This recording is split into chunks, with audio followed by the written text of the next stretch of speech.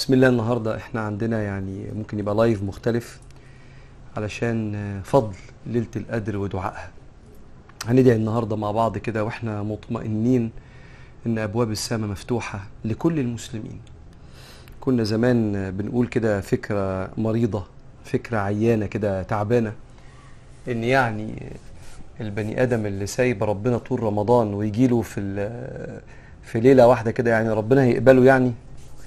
هو الحقيقة آه. الحقيقة آه.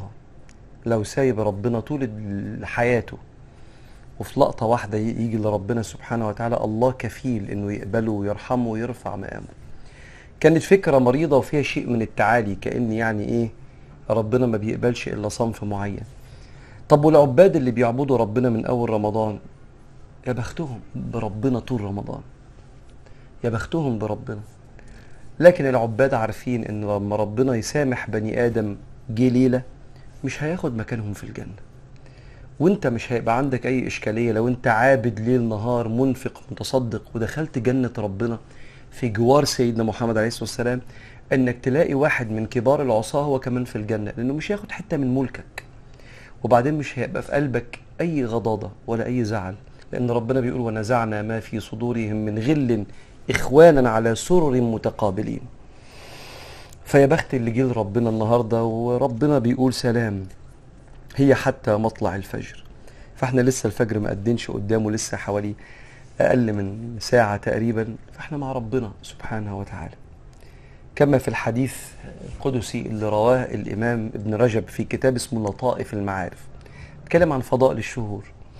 إن إذا كانت ليلة القدر أمر الله الملائكة أن تنزل إلى الأرض ومعهم جبريل. تنزل الملائكة والروح سيدنا جبريل الروح والروح فيها. لأن سيدنا جبريل ربنا بيسميه الروح نزل به الروح الأمين. إذا كانت ليلة القدر أمر الله الملائكة وفيهم الروح أن ينزلوا إلى الأرض ليروا العباد الركع السجود وقد زينوا الطرق بالقناديل. يعني نوروا الطرق عشان هيصلوا.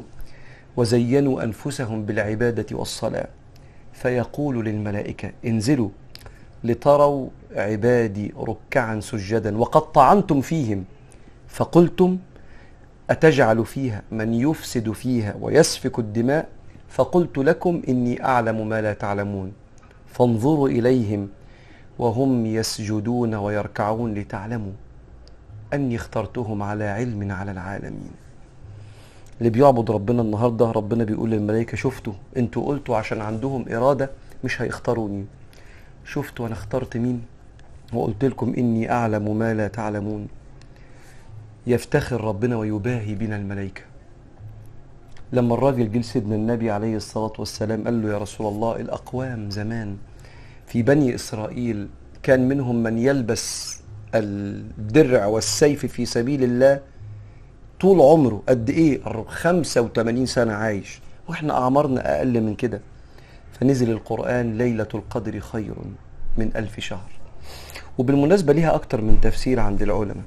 إما ألف شهر اللي هي 84 سنة يعني فيبقى ليلة في كل سنة لو عبدت ربنا يتكتب لك بتحضر بقالك 84 سنة دروس. لو بتحضر درس النهارده بتصلي بقالك 84 سنة. بتشتغل بقالك 84 سنة لو عندك النبطشية بتاعتك النهارده بتعمل عبادة بقالك 84 سنة. أو يقال إن كلمة ألف دي أكبر عدد كان يعرفه العرب.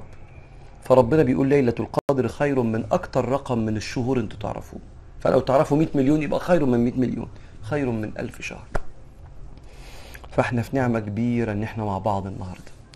ربنا يديمها نعمة علينا.